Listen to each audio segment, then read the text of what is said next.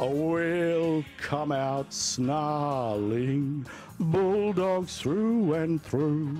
It's not just the footy giving the Treasurer something to sing about. This was uh, just a perfect storm of opportunity for us. But while the government is happy with the $9.7 billion paid for the Port of Melbourne, it's furious with Canberra. The federal Liberal government made a promise about asset recycling and they are reneging.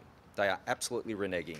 The Turnbull government says Victoria finalised the sale too late to claim the full 15% top up initially promised. I think there's a bit of politics between Canberra and the state government. I think the reality is the money's there. It's been splurged by the state government within 24 hours. Today, another 11 level crossing removal projects were put to tender. By 2018, 37 will be uh, removed or underway. Valued at roughly a billion dollars, the work includes this crossing at Essendon and the scene of the fatal 2012 train crash at Dandenong South, along with crossings at Campbellfield, Glenroy, Coburg, Brunswick, Laverton, Werribee, Williamstown and Williamstown North.